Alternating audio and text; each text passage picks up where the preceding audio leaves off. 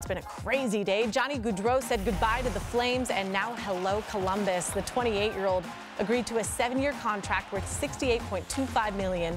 That's an average annual value of $9.75 million. He spent all nine years in his NHL career in Calgary. He's coming off a career high 115 points and 40 goals last season. And here is Greg Wyshynski on Gaudreau. How did the Columbus Blue Jackets sign Johnny Gaudreau, the prize of NHL free agency?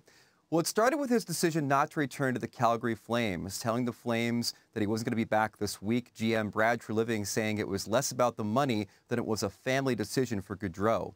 He hit the open market at noon on Wednesday. The Philadelphia Flyers, New Jersey Devils, and New York Islanders were in the market for the South Jersey native. According to multiple reports, he was interested in joining the Flyers, but GM Chuck Fletcher said the team was unable to clear enough salary cap space because it was unwilling to move the necessary draft picks or players off his roster to create that space all of a sudden there were rumblings about the Columbus Blue Jackets being in the hunt for him. And despite not offering over 10 million annually like the Devils and the Flames did, it's the Blue Jackets that landed him. It remains a shock that Gaudreau would choose to select a team that didn't make the playoffs for multiple seasons versus some of the other contenders for his services.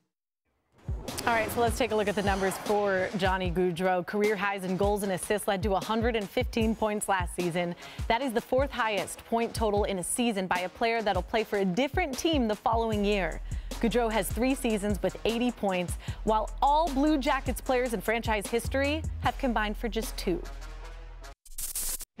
Thank you for watching ESPN on YouTube. For live streaming sports and premium content, subscribe to ESPN Plus.